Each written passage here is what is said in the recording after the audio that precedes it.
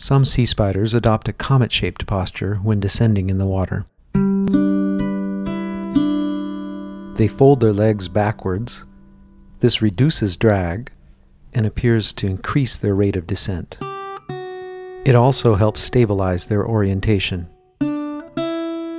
When they touch down, they extend their legs and stand up.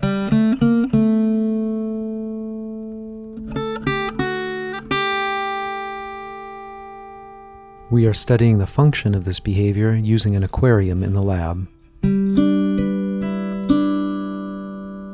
Smaller species regularly adopt the comet posture when they are descending.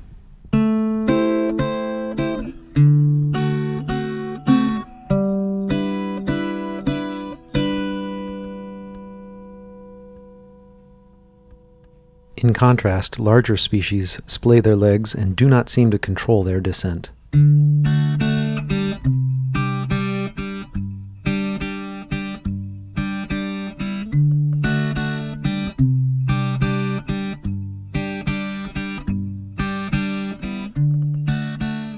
What might explain these differences in behavior?